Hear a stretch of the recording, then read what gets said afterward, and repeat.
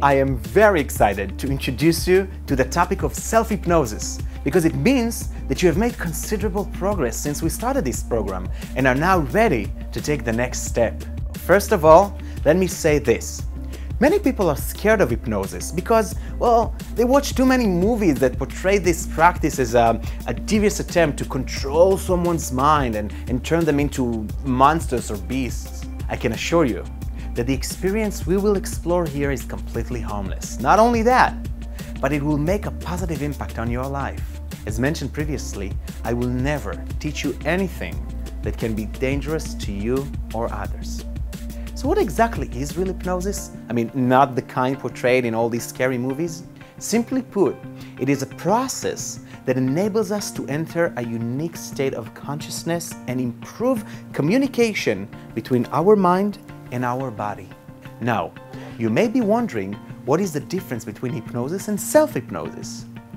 Actually, all hypnosis are self-hypnosis because nobody can hypnotize you against your will or or make you do what you don't want to do. You must be open to it and a willing participant. Another question you might have is about the difference between hypnosis and meditation.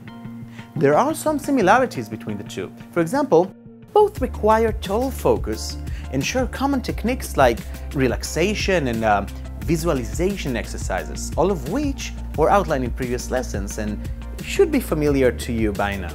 The main difference between the two is the purpose. See, with meditation, you are seeking serenity and calm and an inner peace. The goal of self-hypnosis, however, is a bit more focused on a specific psychological or behavioral goal, like overcoming phobias and anxiety, quitting smoking, or whatever other habit you want to change. So you're ready to begin? Great. Let's go.